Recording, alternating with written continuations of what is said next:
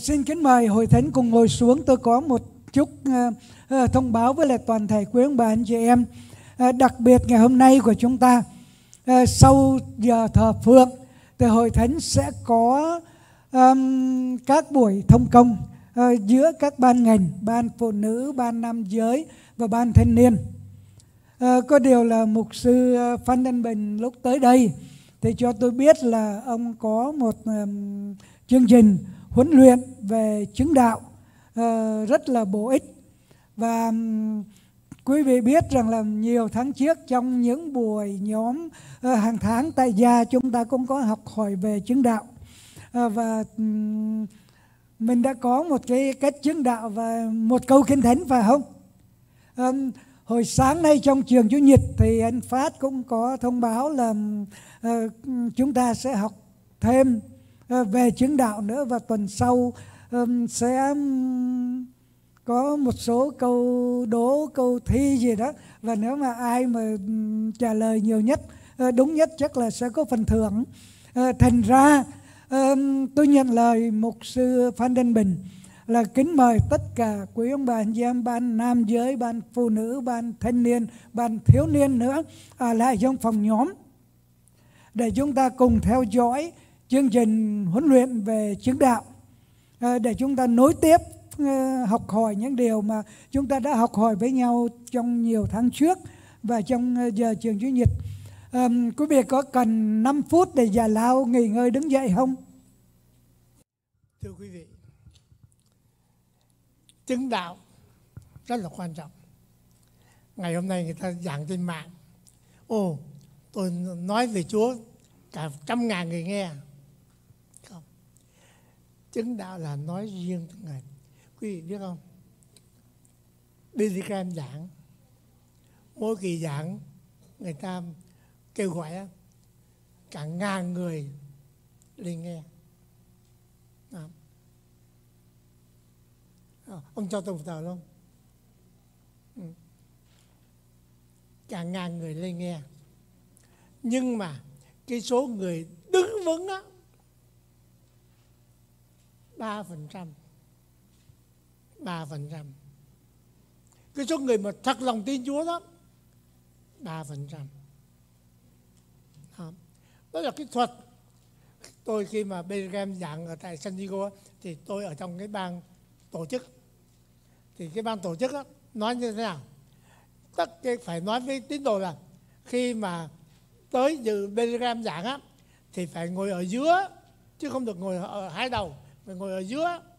Và khi Benjamin kêu gọi lên, thì sao?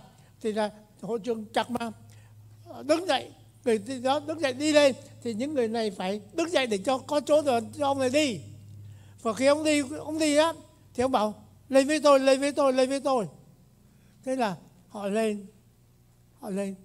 Nên vì cái đó mà số tin người ta theo cái, những người mà đứng vững chỉ có ba phần trăm thôi nhưng mà chúng ta đi ra làm chứng thì 99% đứng vững nếu họ tin Chúa. Vì cái đó mà con cái Chúa làm chứng về Chúa rất là quan trọng. Và quý vị ơi, tôi nói cho quý vị nghe. Cái câu mà Chúa nói rằng khi các thánh linh giáng trên các ngươi thì các ngươi sẽ gì? Hả? Sẽ làm chứng về ta khi Đức Thánh Linh giáng trên các ngươi, thì việc đầu tiên là các ngươi phải làm chứng về ta. Biết bao nhiêu người có Đức Thánh Linh mà không làm chứng về Chúa. Trật. Có Đức Thánh Linh là phải làm chứng về Chúa, phải nói về Chúa. Làm chứng về ta. Nên vì cái đó mà tôi nói là tôi nói thiệt với quý vị như vậy. Tôi rất thành công ngoài đời. Khi tôi mới có hai mươi mấy tuổi thôi mà tôi đã làm cái là tôi hồi đó tôi tiếng pháp với tiếng anh giỏi lắm. Nên tôi đã hai mấy tuổi tôi đã làm manager cho cái hãng buôn um, ở pháp ở tại đà lạt. Hãng buôn lớn lắm. Làm manager một nửa cái hãng đó. Mỗi một tháng khi đó lương lương người ta đó cao nhất là hai ngàn. Mà khi tôi làm manager cái hãng Pasavere đó tôi kiếm mỗi tháng 7 ngàn cho đến 10 ngàn. Thì tôi, tôi, tôi mua đầu quạt rồi tôi bán cho nhà, những nhà thầu tôi giàu lắm. Mà khi đó thì ra sao? Cha tôi là mục sư ở ngoài bắc di cư vô. Ông anh tôi là cũng di cư vô. Ông anh thì học bác sĩ. Ông cha tôi thì học chúa thì là tôi phải lấy tiền ra giúp đỡ cho cha mẹ tôi giúp đỡ cho anh tôi học.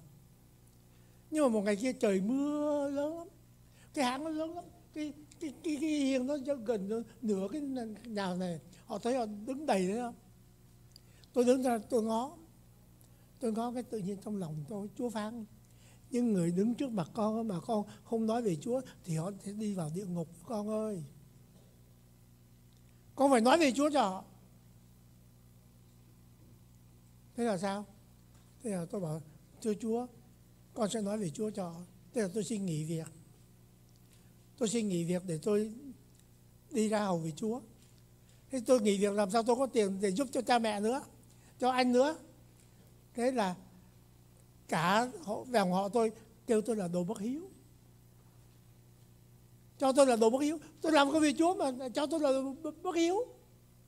Tôi lại cầu nguyện đó chúa ơi con nghe ra lời chúa mà sao con lại mang tiếng bất hiếu?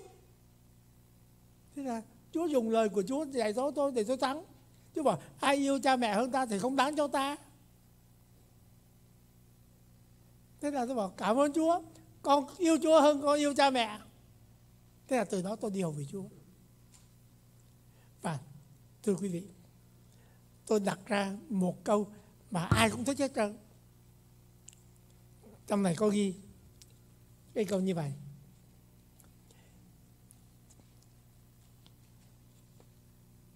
chỉ một mình Đức Chúa Giêsu có thể cứu cả thế gian. Chỉ mình Chúa có thể cứu cả thế gian. Nhưng Đức Chúa Giêsu không thể cứu cả thế gian một mình.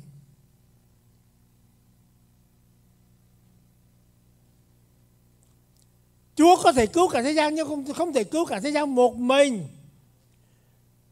Nếu chúng ta không làm chứng về Chúa, đem người ta đến với Chúa.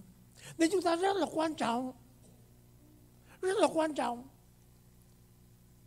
Chúng ta đưa người ta đến với Chúa, cứu được một linh hồn là hơn cả của cả thế gian này. Nên quý vị ơi, làm chứng về Chúa rất là quan trọng. Nên đây là hai đây là cái câu hai câu tôi đặt ra tôi thích lắm mà nhiều người cũng thích nữa. Tình thức. Chỉ một mình Đức Chúa Giêsu có thể cứu cả thế gian, nhưng Đức Chúa Giêsu không thể cứu cả thế gian nếu không có tôi. Quan trọng không? Quý vị thấy quý vị quan trọng chưa?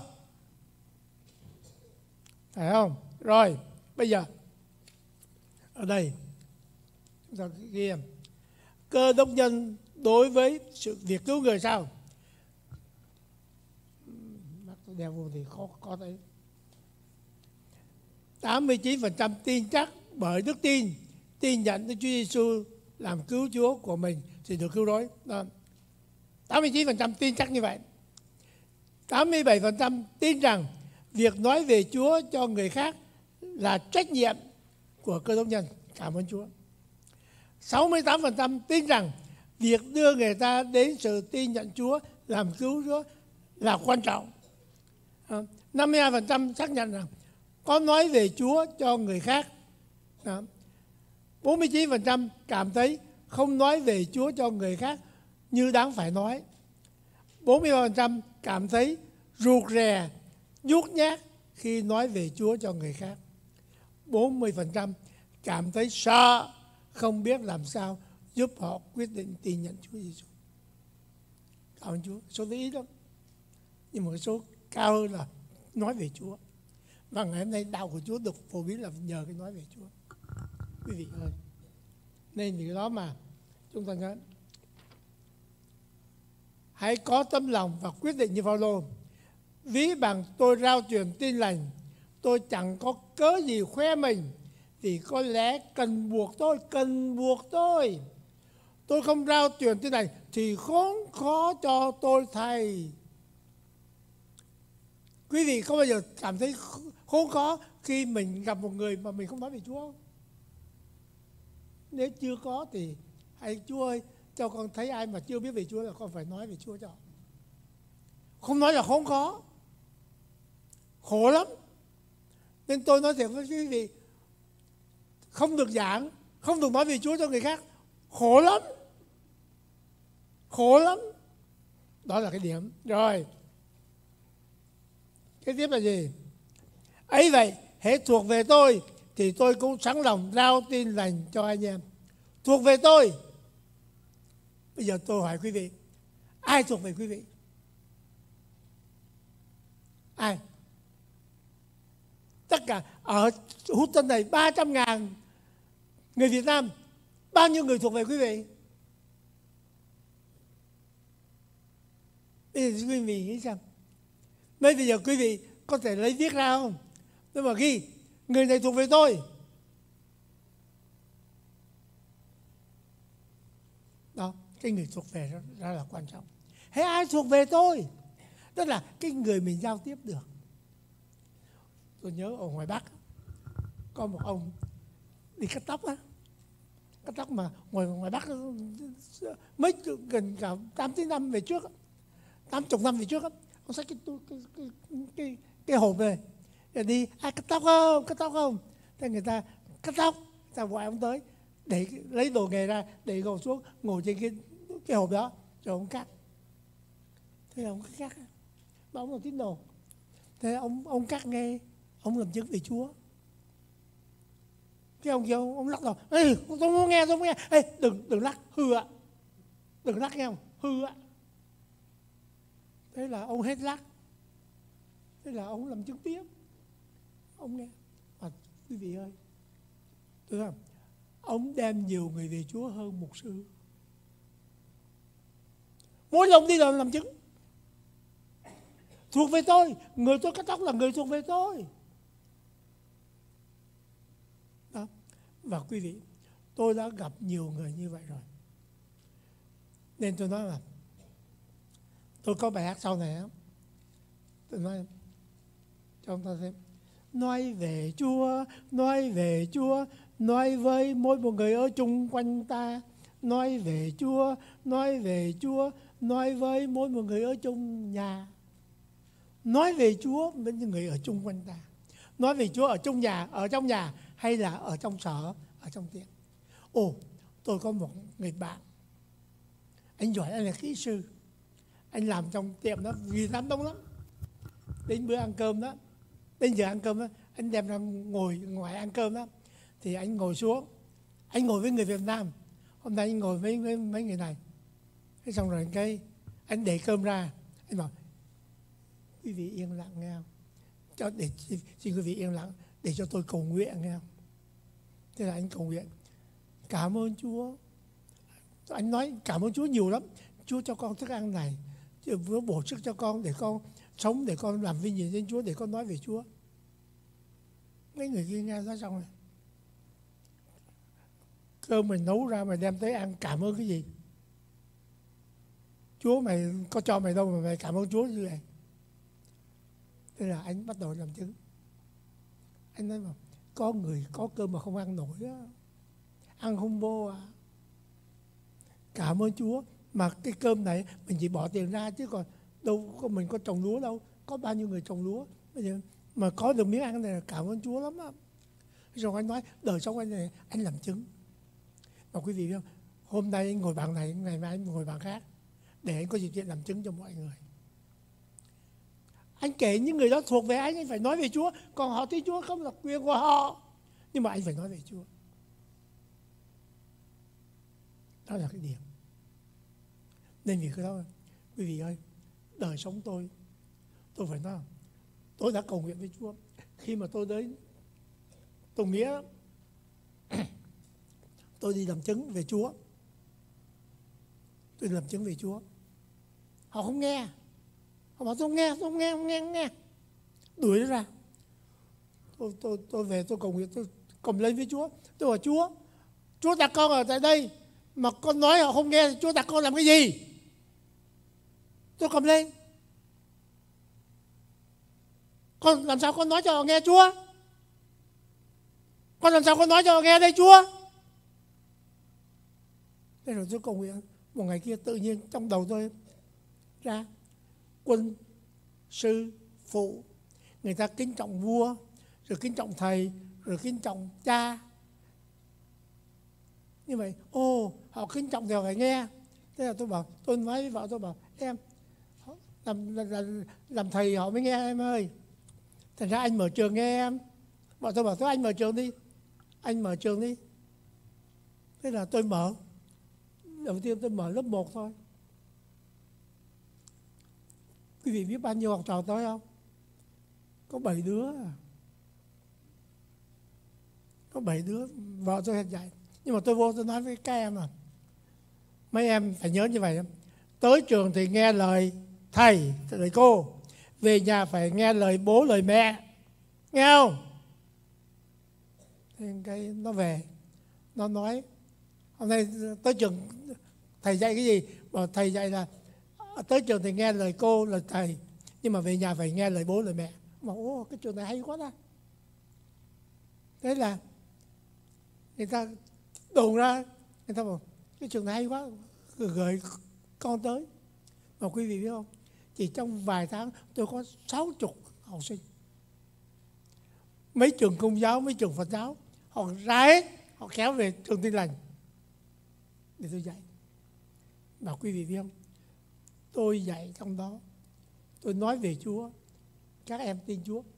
Về sau tôi, mỗi năm tôi lên tôi lên từ mẫu giáo rồi lên đến năm 15 là lên đến lớp 10 trung học. Mà khi đó trường của tôi dạy á phải chia ra hai ba lớp đó. Mỗi lớp là bốn năm chục. Mà tôi nổi tiếng cái thời đó là một người cái trường rất là phát đạt. Và tôi bao nhiêu thầy giáo à, vào trong, dạy trong trường tôi tin nhận Chúa. Bao nhiêu học sinh tin nhận Chúa. Cha mẹ cũng tin. Khi mà tôi tới ô thầy hiệu trưởng tới mừng lắm mời thầy vào. Thế là nói thế là nói về Chúa cho họ thôi hồi trước làm truyền đạo tới họ không tâm tiếp. Bây giờ làm thầy là người ta tiếp. Mừng lắm. À quý vị không? Đó là Chúa mở đường Chúa chỉ dạy cách cách để mà nói về Chúa. Khi tôi qua Mỹ đây, tôi cũng, tôi bảo, Chúa ơi, ở San Diego này có ba ngàn, hồi đó có ba ngàn người thôi. Bây giờ là sáu chục ngàn, bây giờ có ba ngàn. Con làm sao đi làm chứng cho họ được? Mỗi ngày tôi cứ lấy tên của họ, tôi đi tới từ nhà tôi làm chứng. Rồi bảo chúa ơi, mệt quá đi. Nhưng mà con không làm chứng được hết. Biết bao nhiêu người làm sao con làm chứng? Phải cầu nguyện, phải cầu nguyện. Làm sao con nói về chúa cho ở đây? Thì chúa thì tôi bảo chúa bảo tôi viết ờ, ờ, truyền đạo đơn để để ở chỗ chợ, tàu đó. Người ta tới người dân chặt luôn. Thế là tôi ra tờ ánh sáng. Trong trong năm 75 đến nay là tờ ánh sáng 47 năm rồi ra tờ ánh sáng viết để đó người ta tới đọc người ta đọc rồi người ta bảo ô hay quá một sư có thể gửi đến cho bạn tôi chỗ này chỗ kia các, các tiểu bang khác không? Thế là gửi. Và bây giờ quý vị biết tờ ánh sáng không? Đi khắp 50 tiểu bang gửi cả Canada gửi cả Úc cả Pháp cả bên Âu Châu hết cả Việt Nam nữa. Rồi họ photocopy ra cảm ơn Chúa vô cùng. Đó là cách em đến với Chúa. Xong rồi cái tôi cầu nguyện nữa. Tôi bảo, Chúa cha, Phật giáo mạnh quá Chúa ơi. Bây giờ con làm sao phải làm chứng về Phật giáo cho Chúa? Cho những người Phật giáo này. Nhưng phải, người Phật giáo đông lắm. Thế là tôi cầu nguyện nữa thì Chúa cho tôi viết cái cuốn sách đạo nào cũng tốt, đạo nào cũng tốt. Bằng tiếng Anh luôn, Original à, Good mà cuốn sách này đã in trên hai chục ngàn cuốn rồi. Mà nhiều người tin Chúa. Mà quý vị biết không? Tôi dùng cuốn sách này phân tích giữa Phật giáo tôi tôi là người phải nói là các chùa ở tại San Diego tôi vào hết. Tôi vào hết. Tôi làm trước các thượng tọa. Có ngày tết á. Ngày tết, ô, chùa đông lắm. Thế là tôi đi vào và ta thấy tôi nghe rồi ôi một sư cũng lên chùa tôi bảo sao không lên? Ừ. sao không lên? Họ chạy vô báo cho, cho, cho ông thượng tọa bảo có một sư tới. Thế là ông thượng tọa đi ra đón tôi. Tôi đây ra họ kéo vô hết. Họ kéo vô đứng đầy trong cái phòng hết. Để xem tôi làm gì. Thế cái ông ông thượng tọa bảo sao giờ ngày tết một sư lại đến uh, chùa làm chi vậy? Tôi gì người, người ta đến chùa với đây tôi với thượng tọa đồng nghiệp với nhau mà. Mà tôi đồng nghiệp với, với một sư này thì ông là nhà sư còn tôi là một sư. Tất cả đều là sư hết mà. Những người đứng cười. Xong rồi cái tôi bảo rồi phải thế là ra chúc tết. Nhưng mà tôi cũng muốn học nên một mình nơi thượng tọa nữa. Tôi muốn học Phật giáo nơi thượng tọa nữa. Ông dục mình này.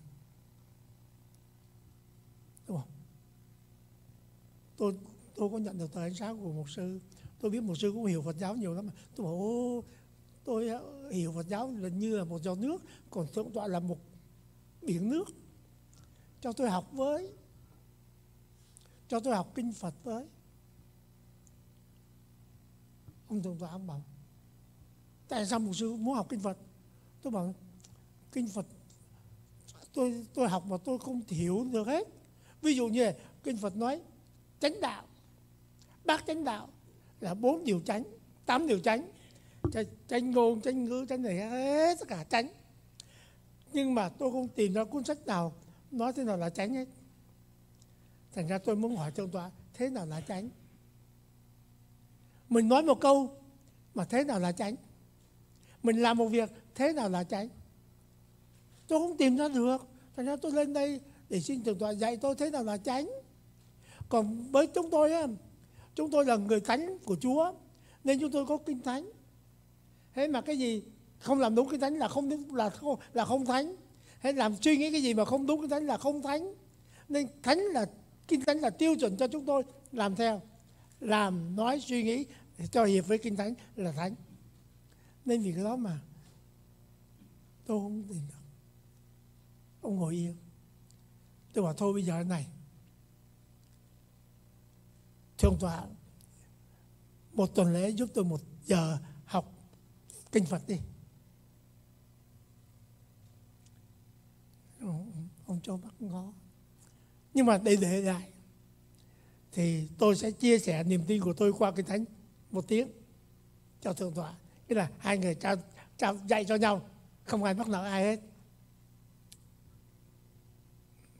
Như vậy xin một sư xin thượng tọa dạy tôi một tiếng kinh phật và tôi sẽ chia sẻ một tiếng kinh thánh. Tôi không nói dạy nhưng mà tôi dùng chia, chia sẻ một tiếng kinh thánh. Ngồi yên. Phật tử đứng ngó. Không trả lời xong rồi tôi đứng, tôi, thôi, để thượng tọa suy nghĩ. Tôi chỉ đưa ra một câu hỏi thôi. Tại làm sao tôi là một sư mà tôi dám học kinh phật? Mà thượng tọa thì không dám học kinh thánh. Rồi tôi đi. Ô cha cả cái đám phật tử ngó. Không. Đó là cách tôi làm. Làm chứng cho như vậy. Có một lần tôi phát cái tờ vô trong chùa, tôi tôi nói chuyện rồi tôi bảo ô tôi có cuốn sách đạo nào cũng tốt. Ô ông nói một sự open mind nghe đạo, nhưng mà ông quên cái dấu hỏi trên. Có thật đạo nào cũng tốt không? Thì rồi đưa ông hỏi, đây, cuốn sách này của tôi đây. Ông bảo, tôi đưa trong ông bảo một số cho tôi thêm vài cuốn được không? Mà sao? Vì trong này có nhiều, có thêm mấy đại đức nữa, thì tôi muốn cho họ đọc luôn. Tại vì đạo nào cũng tốt mà. Thế là tôi đưa cho ông thôi nên vì cái đó mà tôi làm chứng. Tôi nói thiệt tôi làm chứng cho cả mấy con người công giáo nữa. Như trong cuốn sách của tôi đó có cái đề, đề tài là bà Marie bà Marie Bi tôn thờ đó. Mà quý vị biết không? Tôi cầu nguyện tôi bảo Chúa ơi bây giờ con đi làm chứng ở San Diego này con làm chứng làm sao mà hết được? Thì tôi biết rồi nhưng mà báo đăng á. Báo đăng thì sao? Thì là có cả mấy ngàn người đọc. Thế thì viết một bài ở trên báo là mấy ngàn người đọc, cần chi mình phải đi phát truyền đọc đâu nữa. Thế là tôi khởi sự viết trên trên báo người Việt. Thế tôi mới tới hỏi, báo người Việt, bao, in một trang bao nhiêu? Ông bảo, in một trang là 50 đồng.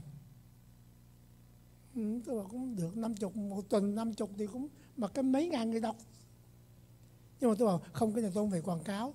Cái này là tôi chỉ nói về niềm tin của tôi, mà tôi đăng trường kỳ. Thì bao nhiêu? Thế mà tôi bớt cho một sư 10 đồng 40 đồng. 40 đồng. Thế là tôi bảo là, nói thiệt với quý vị, mấy anh 40 đồng cũng hơi khó cho tôi. Tại vì tôi chỉ muốn chia sẻ cái niềm tin của tôi thôi, cho mọi người biết. Tin, tôi tin làm sao? Phước hạnh làm sao thì tôi muốn mọi người được phước như tôi. Thành ra nhờ cái tờ báo này mà họ được phước. Đó là cái mục đích của tôi. Thôi bó cho một sư 10 đồng nữa 30 đồng. Thế là 30 đồng. Một kỳ đăng báo. Cái kỳ, cái kỳ đăng báo là cái tôi ngưng họ gọi tới. Họ bảo ừ, bài một sư bình xong không có? Xong họ bảo mấy nơi đau này nó chưa biết được. Ô họ gọi tôi bảo không có bài một sư cũng được. Tôi bảo thế thì muốn tôi tiếp tục viết lại không? Cho tôi cái giá đặc biệt thì tôi viết cho. Xuống còn 15 đồng. À, tôi viết cả trên một ngàn bài rồi. Mỗi một tuần đăng một bài mà nhờ cái đăng đó mà tôi ra 10 cuốn sách về Chúa Giêsu cứu cho tôi. Tôi cầu nguyện với Chúa. Tôi bảo, con nói về Chúa tôi này. Mà nó hay cái này. Biết cái bài mà Giêsu có ông nó gặp tôi ông bảo. Tôi đọc cái bài này của một sư đó tôi tôi đọc cho vợ tôi nghe. Ông là người công giáo. Tôi đọc cho vợ tôi nghe. Một sư bình nói bà Mary bị tôn thờ chứ không không đáng được tôn thờ. Không đúng, tôn thờ là không đúng một sư biết sao? Vợ tôi mới nói tôi bây giờ anh là công giáo là tin lành. Nói đi. Tôi yên luôn. Bây giờ mình đâu dám rằng mình là tin lành được. Nhưng mà tôi đem cái bài báo đó, tôi đưa trong linh mục. Tôi bảo, cha, ông một sư bình viết như vậy là phạm vào trung chúng ta rồi. Cha viết lại một bài đi, đăng trên báo, phản đối cái một sư bình đi. Để giữ niềm tin của mình. Ông gọi ông mà tôi nói với cha của tôi vậy. Cha rồi tôi đưa cái tờ báo cho cha xem. Ông cha bảo không có người có ấy. Ông ông không chịu viết. Nhưng mà có lần thì ông cha đã lại mời tôi nói chuyện ở trong trong trong trong, trong nhà thờ của ông về vấn đề này. Cảm ơn Chúa đó. Nên mình nói lời của Chúa đừng có ngại gì đừng có sợ gì hết. Có một lần tôi làm chứng hồi ở Việt Nam á, tôi còn nhỏ. Có một ông luật sư đi họp đó tại vì hồi đó tôi ấy đi họp lắm, mà chính quyền cũng vui. Bao nhiêu một sư họ cũng mời, họ mời cái ông truyền đạo trẻ trẻ này đây thế tôi ngồi bên luật sư tôi hỏi luật sư, tôi muốn nói chuyện với luật sư được không? Ông bảo, anh học đến đâu mà anh đòi nói chuyện với tôi? Nói một câu thẳng ra với à anh anh học đến đâu vậy anh đòi nói chuyện với tôi? Tôi bảo, Bộ học đến luật sư là biết hết tất cả mọi sự, phải không?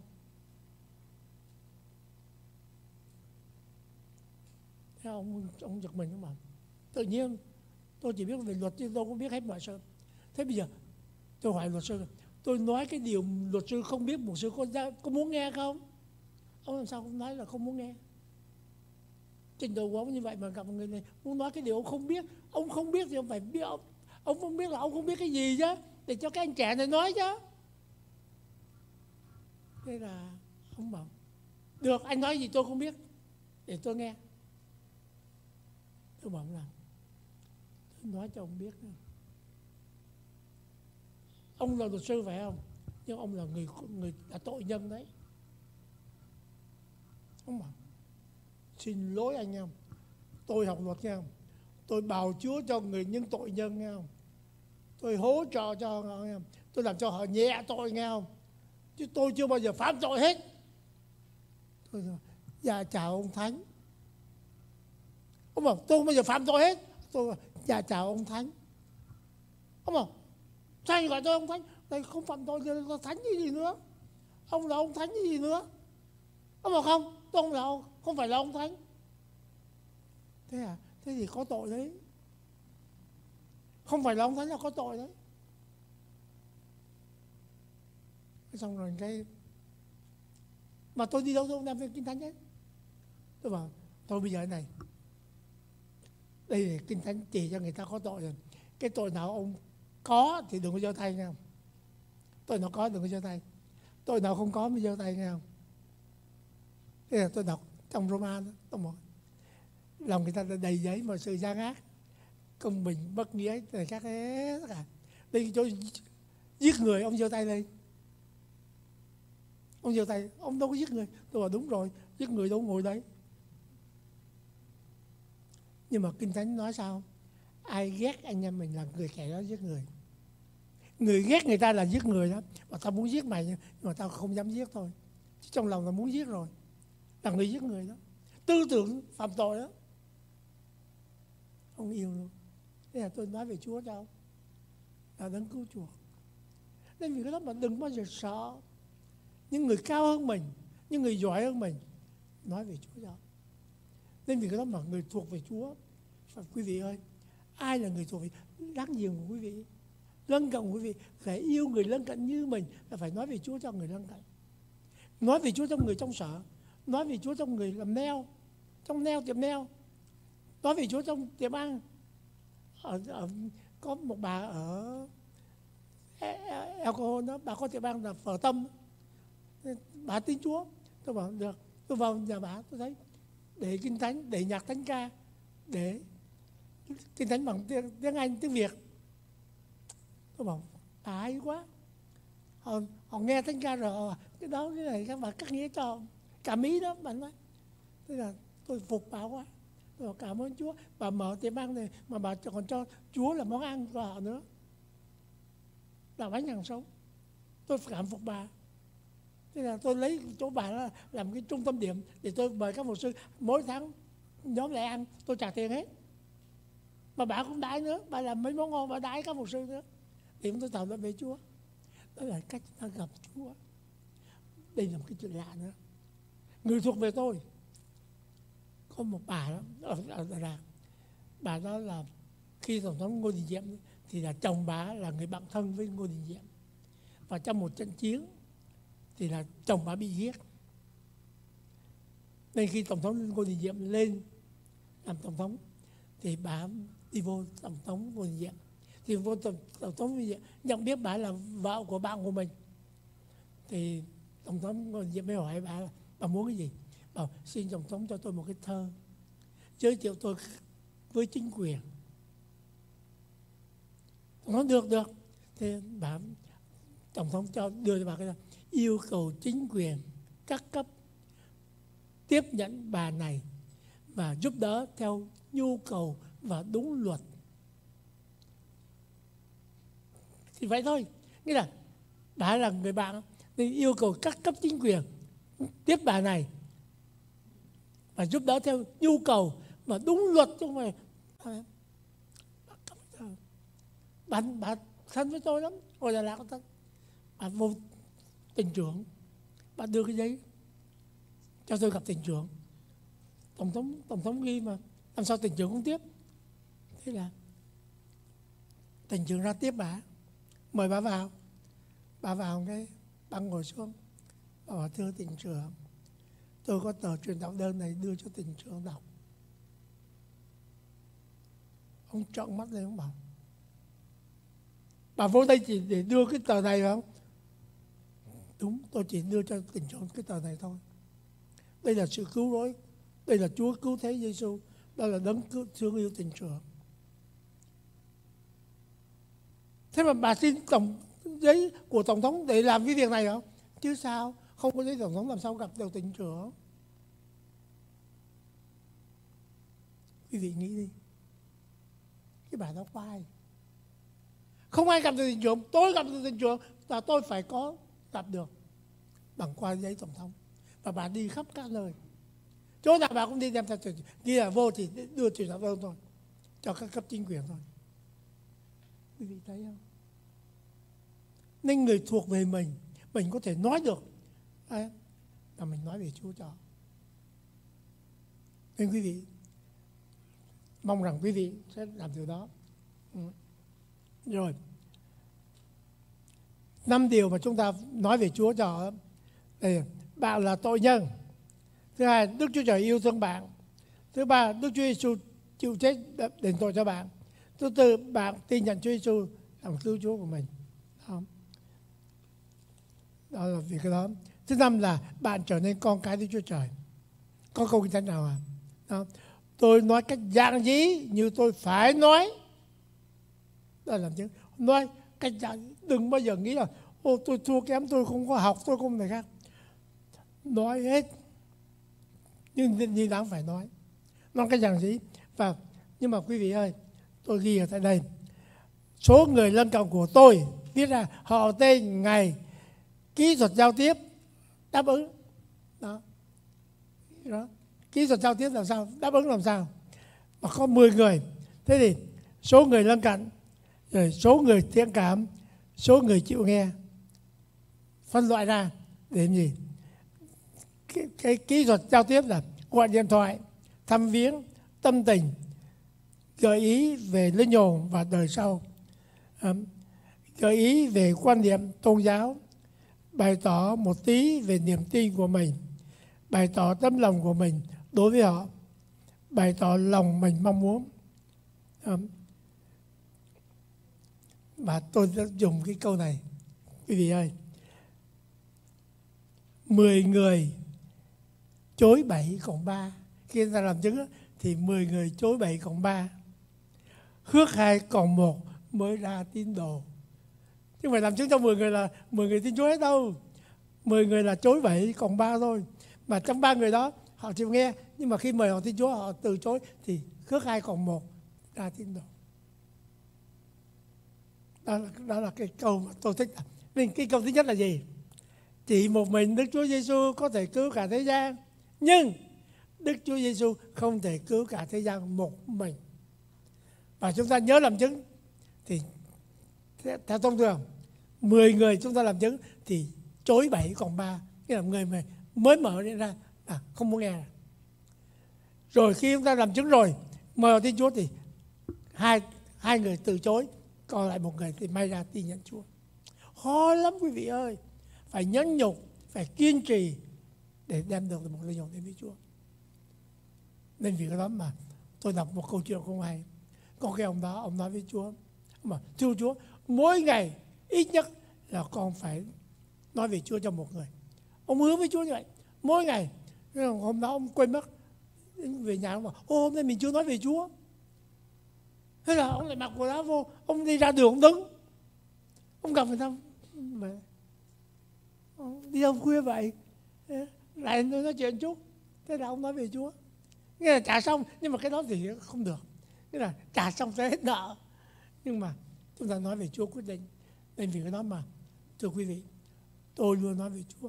Tôi nói ở trên đài là nói về đời, đời sống an vui nhưng mà tôi nói về Chúa trong đó. Và người ta đã lắng nghe. Và có nhiều ngay cả người công giáo cũng gọi vô hỏi ngay người Phật giáo cũng gọi hỏi hay cho hỏi chúng tôi tin Phật giáo thì sao? Tôi bảo Phật giáo hồi đó Đức Phật làm đúng lắm. Tại vì khi Đức Phật chọn con đường giải thoát. Là khi Đức Phật, là khi Chúa Giêsu chưa ra chưa đến thế gian. Chưa đến thế gian để cứu chuộc nên Đức Phật tìm con đường giải thoát là đúng là đúng lắm. Nhưng bây giờ Chúa đến thế gian rồi thì khỏi tìm đường giải thoát vì Chúa đã cứu chuộc chúng ta rồi. Tôi nói ví dụ hồi trước người ta đằng vân học đằng vân khổ lắm mà làm sao bay được lên trời? Nhưng mà bây giờ thời buổi giờ thì bỏ tiền ra lên máy bay là bay lên trời cần gì phải học đặng vân nữa. Tin nhận Chúa là được Chúa cứu chuộc, mà Chúa cứu chuộc trọn vẹn và được hưởng phước đời đời. Qua đời, khỏi phải cầu siêu, khỏi phải cầu hồ, mà được đi ở với Đấng Christ đời đời. Phước hạnh vô cùng. Đó, tôi trả lời nhé. Rồi nếu quý vị muốn hỏi thêm thì nói cho tôi biết. Quý vị cho tôi địa chỉ, tôi sẽ gửi sách đến cho quý vị. Đó là cái cách tôi làm. Và ngày hôm nay cảm ơn Chúa. Biết bao nhiêu người đã tin nhận Chúa tôi, tôi cảm ơn Chúa. Không phải là để đem họ vào hội thánh họ tin nhận Chúa là được rồi. À, nên xin quý vị nhớ chúng ta chỉ một mình Đức Chúa Giêsu có thể cứu cả thế gian. Nhưng Đức Chúa Giêsu không thể cứu cả thế gian nếu không có quý vị làm chứng về Chúa. Và quý vị nhớ làm chứng 10 người một người tin Chúa là đủ rồi. Và mong rằng khi Chúa đến đem ra phần thưởng ban cho mỗi người là gì? Là những điều chúng ta làm chứng về Chúa. Cứu được một linh hồn, người có khôn ngoan, có tài được linh hồn người ta. Mong rằng mỗi chúng ta, ít nhất mỗi đời sống con cái Chúa đem được một người đến với Chúa. Quý vị đồng ý không? Ừ? bây giờ quý vị nào đồng ý làm chứng về Chúa khi gặp một người? Tôi có cái quy định này. Người đứng trước mặt tôi là người chưa tin Chúa lắm, thì tôi nói đây là người Chúa muốn cứu. Thành tôi tìm cách giao tiếp. Bất cứ ai. Nhưng mà, còn đối với con cái Chúa, người đứng trước mặt tôi là con một cha. Là tôi phải thân thiện. Tôi phải yêu mến. Đó là cái quy luật của tôi. Đối với người ngoại là người Chúa muốn được cứu.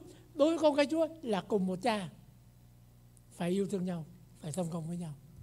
Cảm ơn mục sư đã cho tôi có thời giờ chia sẻ. Mong quý vị đọc và cho tôi biết chứ nhớ, quý vị tìm được 10 người mà quý vị để tâm làm chứng về Chúa. Thì tự nhiên hội thánh sẽ đồng hành.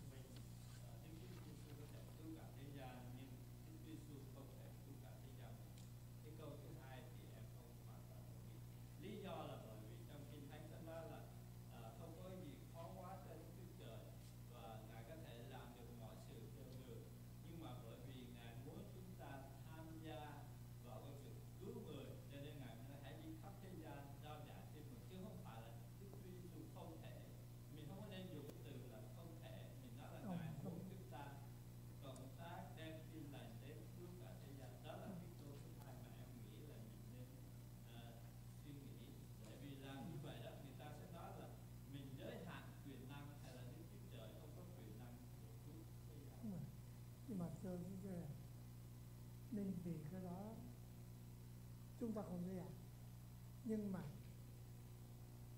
tôi đã đưa cho một sư này cái, cái, cái, cái bản của tôi là cơ lên là chi thể của lâm thế chi thể của lâm thế nên Chúa trong ta cái ơn gì chúng ta phải hành động với nó. Đó là chi thể của lâm thế giao giảng tin lành của Chúa là cái bộ phận và trách nhiệm của chúng ta. Nên chưa khi các người nhận lấy thánh linh thì phải làm chứng về ta, đó là cái đầu tiên. Đó. phải làm chứng về ta. Nhận lấy thánh linh để làm chứng về ta chứ mà làm chứng linh để làm phân giải đừng lấy linh để nói với người ta làm chứng về Chúa. Mà làm chứng về Chúa là làm chứng thực nghiệm qua đời sống của chúng ta.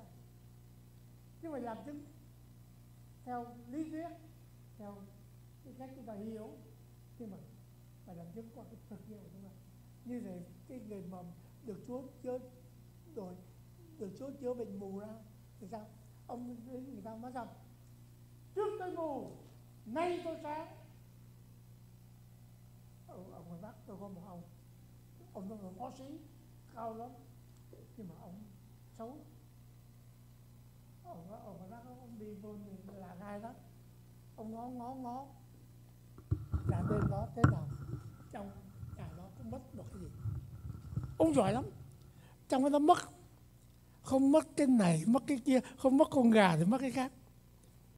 Nên ông mà đi tới nhà ai thăm á là người ta biết là đêm nay ta mất cái gì. Nhưng mà một, một lần kia thì ông đã tin Chúa. Khi ông tin Chúa rồi ông lại cũng đi như vậy. Nhưng mà mấy người mấy người kia tới ông thấy ông bảo xin ông tha tha cho nhà tôi đi xin ông ta cho nhà tôi đi. Ông bảo sao? Ê, khỏi xin.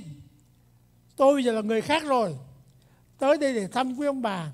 Và tỏ cho cái vị là tôi tới thăm không bao giờ mất một cái gì hết, vì tôi nay là tín đồ của Chúa. Không được quyền ăn cắp của ai. Chúa dạy như vậy. Nên quý vị đừng bao giờ lo mất cái gì hết trơn. Và ông cứ đó, ông đi làm chứng. Và ông này sau năm 75 ông là võ sĩ mạnh lắm. Ông đi ra ngoài đường, ông cầm theo. Quý vị ơi, từ ngày Việt Cộng vào miền Nam này rồi, chúng ta được ăn nhiều thứ lắm.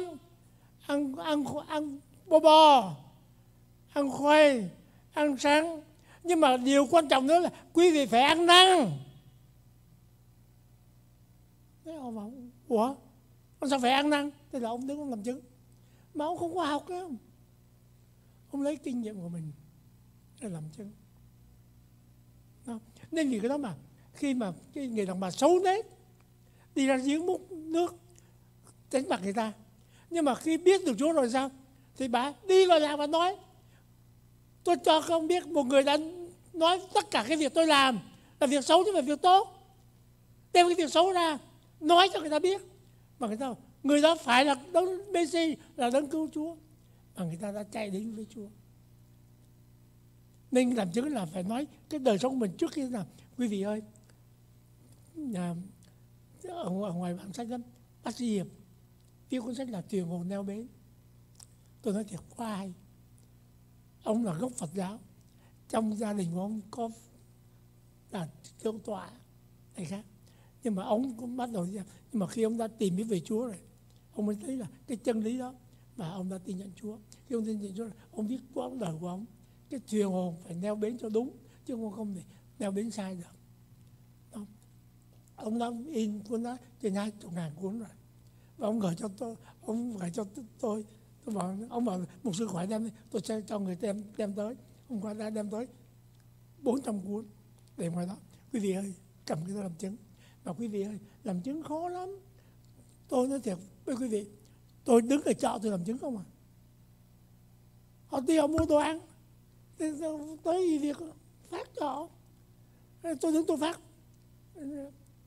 Ra kia họ đọc, họ bỏ, họ vứt. Cái con ông đi làm con hấp mà mà không ăn mặc tầm thường lắm, không tắt cái vác gì chứ phát cái gì vậy? Dạ tôi phát cái giấy, cái tờ này. Tờ gì vậy? Dạ đời này viết ngắn nhưng mà khó đọc lắm. Chữ gì? Dạ chữ việt nó sao khó đọc? Tại vì có người cầm lên đọc một chút đi ra kia đọc không nổi vứt trước kia. Vứt kia. Đâu đưa lên tờ đọc thử xem.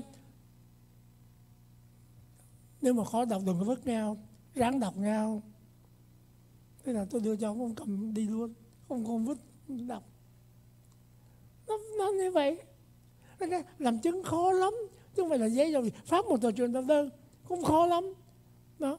Nên vì cái đó mà, quý vị ơi, tôi làm đủ mọi cách để đưa người ta đến với Chúa.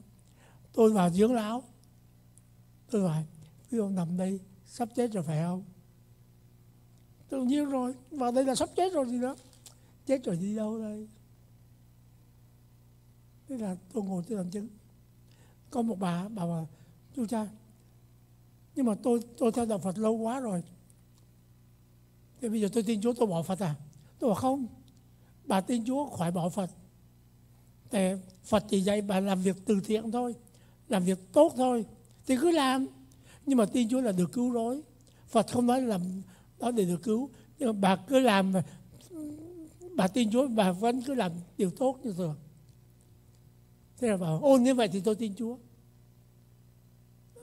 đó là cái cách làm. Chứ mà bỏ ra con đi. Đó. Thành ra vì cái đó mà có một sư đi chưa đi, đi, đi vô thấy người ta để bằng thờ này khác ấy dẹp đi. Thờ này là thờ ma lại quỷ đấy. Làm sao người ta nghe được? Nhưng mà ô thờ ông thờ bà quý quá quá. Có tấm lòng. Nhưng mà ông bà có cho được cái gì không? Có làm được cái gì không? Nên bây giờ tôi chỉ cho quý vị thờ một đấng có thể ban cho quý vị điều quý vị đang cần. Thế là ông nói là lễ Chúa. Đó. Rồi sao? sau khi tin Chúa rồi mà cái một sư dẹp vào bằng thờ tôi nếu đồng ý thì tôi tôi dẹp. Hay là hay là hay là bà có thể đem đến cái này biếu cho những người khác đi. Chứ đừng có ờ, phỉ bán họ đừng có làm cho họ. Nên vì cái đó mà tôi nói chuyện với quý vị tôi làm vô chùa làm chứng cho thượng tọa, tôi phải nghĩ cách làm chứng làm sao cho họ nghe. Ví dụ như tôi vô cái chùa là tích tích chi tích chi nhờ nổi tiếng lắm. Tôi vô, tôi hỏi, một sư vô có chuyện gì vào tôi vô muốn hỏi muốn hỏi thượng tọa là tôi đọc cái cuốn, cái Phật đàn đó. Hay quá đi hoàng tráng quá đi nhưng mà tôi không biết là cái sự kiện này xảy ra lúc nào thời điểm nào. Và ai viết? Tôi không tìm ra.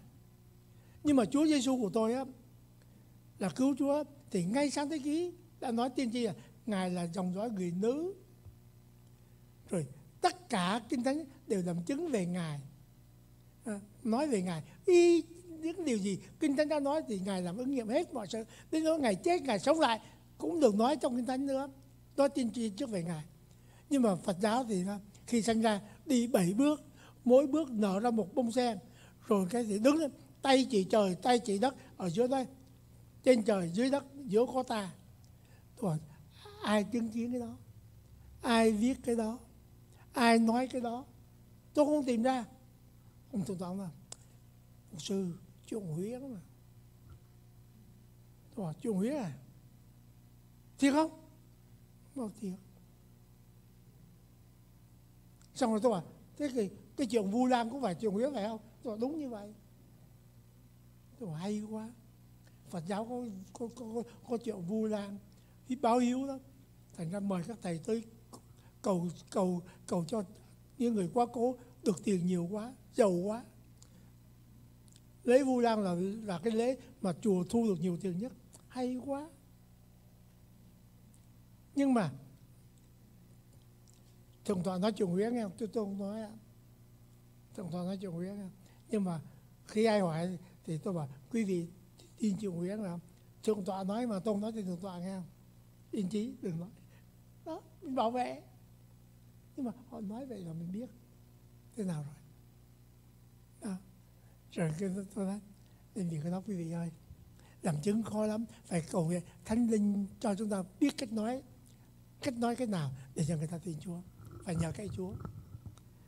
Dạ um, chúng chúng ta thì giờ cũng tương đối cũng có hạn thành ra um, quý vị có câu hỏi nào khác nữa cho một sư bình nữa không? Dạ kính mời ông uh, một câu hỏi cuối cùng.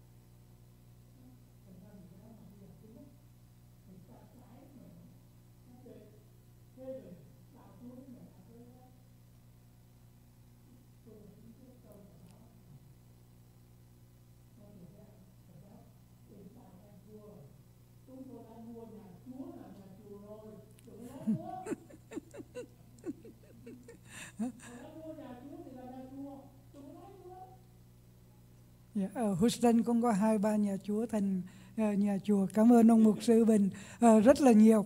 Cái điều mà ông mục sư Bình chia sẻ cho chúng ta mà tôi nhận được đó là khi mà chúng ta làm chứng đạo, chúng ta phải uyển chuyển.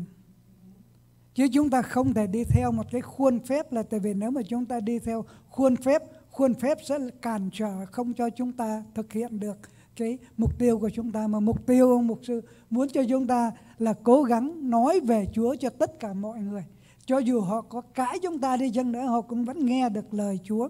Um, tôi xin phép ông mục sư để trả lời cái câu hỏi của anh Trung, um, tại vì ông mục sư không có trả lời trực tiếp. Um, Đức Chúa Trời là đứng toàn năng, thì chúng ta hiểu rằng là ngài không có một việc gì là ngài không thể làm được. Tuy nhiên có những điều Đức Chúa Trời không làm được. Thứ nhất, Đức Chúa Trời không làm được cái điều mà Ngài ờ, uh, hứa mà Ngài không làm. Khi mà Đức Chúa Trời hứa, Đức Chúa Trời sẽ bắt buộc phải làm. Không thể nào không làm được. Thành ra có những điều mà Đức Chúa Trời không làm được. Đức Chúa Trời không thể phạm tội. Ngài là đấng toàn thiện. Đức Chúa Trời không thể phạm tội được. Thành ra cái câu hỏi của anh Trung nói rằng là Đức Chúa Trời là đấng toàn năng làm điều gì Ngài cũng làm được ờ, thì thì ừ, tương đối bị giới hạn. Đức Chúa Trời không thể kẻ kẻ có tội, là vô tội. Thành ra người ta có tội là phải bị vào trong hỏa ngục. Đức Chúa Trời không thể nào rằng là không có tin Chúa mà rồi kéo ra khỏi hỏa ngục cho lên thiên đàng được. Thành ra cái điều đó là Đức Chúa Trời không thể làm được và điều Mục sư Bình muốn cho chúng ta hiểu được là như vậy. Thành ra cảm ơn tất cả quý ông bà anh chị em đã lắng nghe Mục sư Bình và chân dòng cảm ơn ông Mục sư rất nhiều. Cái sự hiểu biết lời Chúa của ông và kinh nghiệm mấy chục năm hầu việc Chúa của ông uh, hướng dẫn cho chúng tôi rất là nhiều uh, trong điều này. Hình như là anh Phát là đại diện của Hội Thánh cũng cũng muốn có một ít lời với lại ông Mục sư xin kính mời anh Phát.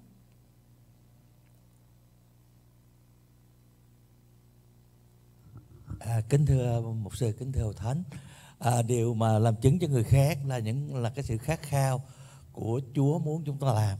Và hội thánh và những người đã theo Chúa như à, chúng tôi hoặc là tất cả mọi người đều muốn nói về Chúa cho khác. Nhưng mà cái đó là, là điều trở ngại nhất và chúng tôi đã từng bị vấp phải. À, có rất là nhiều phương pháp à, từ phương pháp à, của một thứ này một thứ kia nhưng không có phương pháp nào bằng tấm lòng chúng ta đi nói trước rồi từ đó à, chúng ta sẽ đem lời Chúa về cho người khác.